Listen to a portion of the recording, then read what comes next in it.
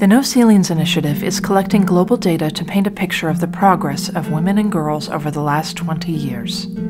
The information consists of more than 1.8 million data points from over 190 countries.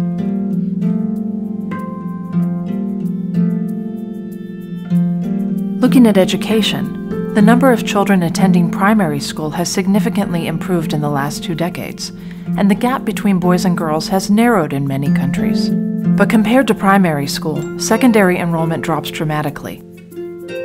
In sub Saharan Africa, there are 1.5 million fewer girls than boys in secondary school.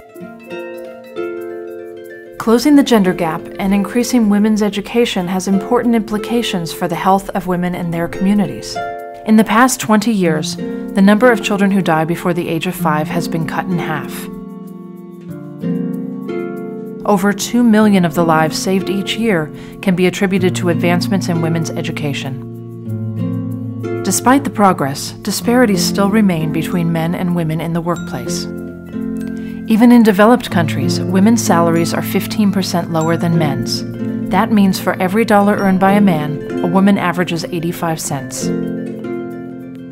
One reason for the gap is that women spend more time on unpaid labor, such as domestic work, caring for household members, and additional unpaid tasks.